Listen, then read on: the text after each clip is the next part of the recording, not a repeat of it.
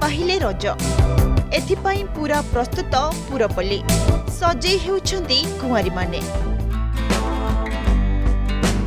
ରଜ ପୂର୍ବରୁ ସମସ୍ତେ ସଜବାଜରେ ମସଗୁଲ ରଜ ଖଳା ବି ପୁରା ପ୍ରସ୍ତୁତ ତିନି ଦିନିଆ ରଜ ପର୍ବର ପୂର୍ବଦିନ ସଜବାଜ ଦେଖିଲେ ଆପଣମାନେ ମଧ୍ୟ ଅନୁମାନ କରିବେ ପିଲାଠୁ ବୟସ୍କ ପର୍ଯ୍ୟନ୍ତ ରଜ ପାଇଁ କେତେ ଉତ୍ସାହିତ ସମସ୍ତେ କଟକ ଜିଲ୍ଲା ନିଶ୍ଚିନ୍ତ କୋଇଲି ବ୍ଲକ ଗୋପପୁର ଗାଁ।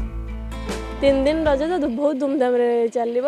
ଏଥିପାଇଁ ଆମେ ବହୁତ ଖୁସି ଅଛୁ। ଆଜି ମେହେନ୍ଦୀ କୁକୁମ୍ବ ଅଳତାରେ ସବୁ ପିଲାଙ୍କୁ ଡାକିକି ସଜେଇ ଦେଉଛୁ। ବହୁତ ଖୁସି ଲାଗୁଛି।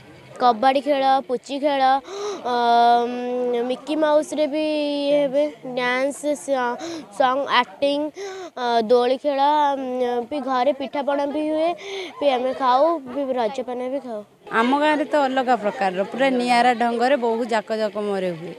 ଆମେ ବାହା ହେଇକି ବି ଆସୁ ମୁଁ ନିଜେ ବି ସଜ ହେଉଛି ଛୁଆମାନଙ୍କୁ ଡାକିକି ବି ସଜବାଜ କରିଦେଉଛୁ ଆମେମାନେ ଅଳତା nail polish mehndi makeup powder nail polish ସବୁ ପିନ୍ଧା ପିନ୍ଧି ଆମେ କରୁଛୁ ଇଏ ହେଉଛି ସଜବାଜର ଦୃଶ୍ୟ।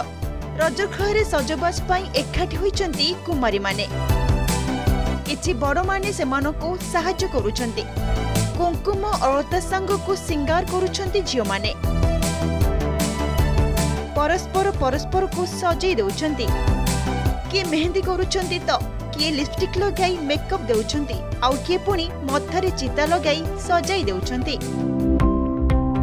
ଏସବୁ ପ୍ରସ୍ତୁତି ଆଜିଠାରୁ କାରଣ ରଜ ଆସିଲେ ପୁଣି ଦୋଳି ଖେଳ ସାଙ୍ଗକୁ ଆହୁରି ଅନେକ ପିଠା ପଣା ନାଚ ଗୀତ ଏସବୁ ରହିଯିବି। ତେଣୁ ପ୍ରସ୍ତୁତିରେ ହିଁ ଅନୁମାନ କରନ୍ତୁ ରଜ ତିନି ଦିନ କିଭଳି ମୌଜ ମଜଲିସ ହେବ। ରଜ ମହୋତ୍ସବ ବୋଲି ଆମ ଗାଁରେ ମାନେ ଗୋଟେ ମାନେ କମିଟି ଗଠନ କରାଯାଇଛି ଆଉ ତିନି ଦିନ ଯାକ ଗାଁ ସାରା ବନ୍ଧୁବାନ୍ଧବ ଘରେ ଘରେ ପିଠାପଣା ସମସ୍ତଙ୍କ ଘରେ ନିଆରେ ଢଙ୍ଗରେ ମାନେ ପାଳନ କରାଯାଏ। ଆଉ ପ୍ରତ୍ୟେକ ସିନେମା ଆର୍ଟିଷ୍ଟ ଆର୍ଟିଷ୍ଟମାନେ ଆସନ୍ତି ଷ୍ଟେଜ୍ ପ୍ରୋଗ୍ରାମ କରାଯାଏ। ଗାଁ ପିଲାମାନେ ନୃତ୍ୟ ଇଏ କରନ୍ତି।